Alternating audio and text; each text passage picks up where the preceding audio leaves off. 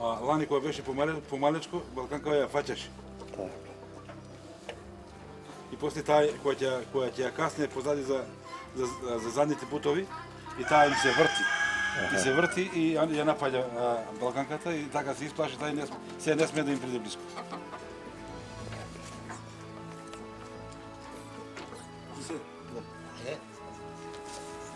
Епа.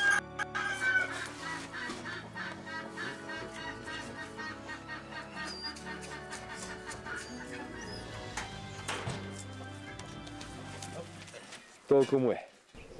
Со нашето ловечко око евене во домот на Русомир Нешковиќ од село Кучевиште, Скопско. А, тука сме да отбележиме нешто раритетно, односно Русомир има многу животинки во неговиот двор. Што живина, што диво. Од каде таа Русомир љубов голема за собирање и одгледување на животни? Имате чистокрвни раси? Па видите, јас ова а, што го од- одгледувам, го одгледувам претежно во сакам да и, и да и понатаму да одгледам во чисти раси. Некогаш еве на село така ми се мешаат, али а, насто, настојувам селекцијата да ја задржам барем а, а, по, по претежно во чиста раса.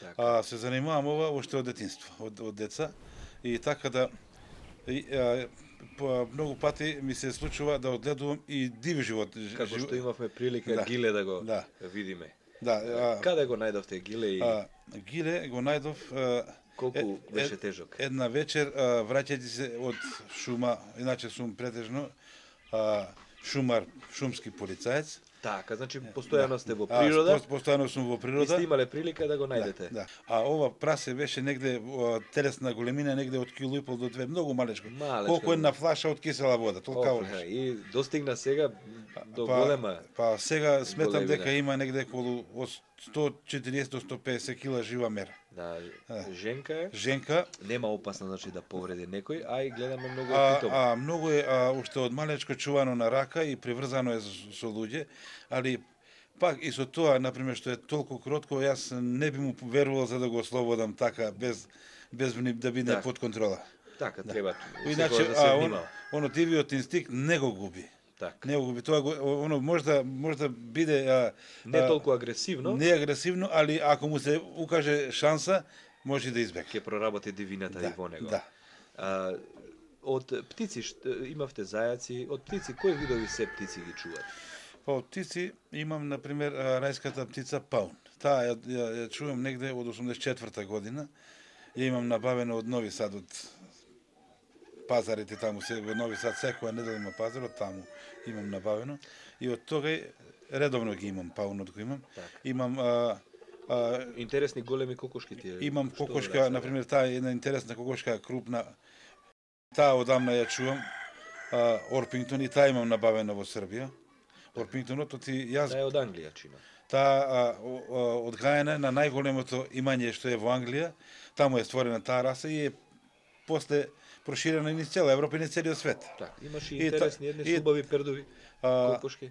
Имам таа една а, джинка, таа джинка што е а, а, бело, бело со црно, или и, иначе хамбургер. Хамбургерот е а, потекло од хам, од Германија од Хамбург и да тоа го носи името хамбургер. Иначе таа джинка е а, многу а, голема но, несилка, носи тоа а, носи а, а, крупни јајца, не е баш она како джинка ситно јајце. Така. И значи по а, по по приносна е за Да. за, за отлетување, оти малку јаде, а доста дава. Доста дава. И Да. подполошки чинам. И под полошки, под полошката ја чувам, а, ради мерак така, иначе и таа е добра носилка и јајцето е квалитетно. Во помал број само Да. подполошки. По, по, чувам во помал број не, и и ги од, мислам ги произведувам колку за себе. И Така. на крај да го спомнеме и фактот дека вие сте и страствен ловец исто време. А, јас сум ловџија, ние сме генетски ловџија. Дедо ми бил ловџија, татко ми ловџија, јас сум ловџија и децата мои се и тие ловџи. И и така а, а, мислим лов- ловечката традиција наставува и понатаму. Така, но во исто време ловите и ја чувате планината. Што службено, што ловечки. Не, кога сум на служба, а, онак службено не ловам тоа. А нормално, А, не нормално, ловам но тоа. велам, Али, да, али, и а, во службата ја чувате планината, да, дрвјата? Да, да. односно да не бидат Да, да. исечени од дрвокраците, Да. а секако кога сте ловец, пак ги А, гоните кога- ловокраци. Да, кога, а, кога, кога сум ловец, строго го почитувам ловечкото правило и одам само во ловните денови. Не се Да. вознемирува дивечот, значи во не, не, не. На, а преку ос- останатите денови преку неделата строго го штитам дивечот и не давам на пример ако а, видам некој да ги криволовец таму ваму, секогаш го гониме, го приведуваме и се тоа Така. службата си обавуваме како треба. Така, инако не би останало дивеч да, во планинава. да. Благодарам многу на е, разговорот и на е, излагањето за ваши, вашето хоби или повеќе видови е, хоби. Се надевам дека тоа беше и интересно и за гледачите на Ловечко око, кои што може би ќе најдат потик поттик и тие недел од нив да контактираат со вас и да одгледуваат одредени раритетни видови дивеч, односно живина, би рекле.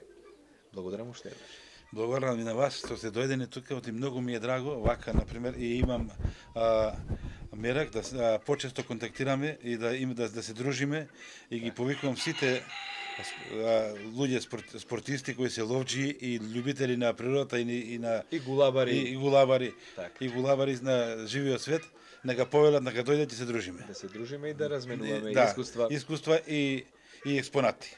Со ловечки поздрав, со добар поглед. Благодарам ги до поздравуваме, ги поздравуваме сите кои ќе не гледаат. Благодарам уште еднаш од името на гледачите на Ловечко. Кеве, Илце, за, само погледај пред да снимиш, погледај само. А, Што е направено тоа? да видиме. Чева? А, ова е ептен. А, твое е, ова? Па, ме, даде. Ето го се. Епа.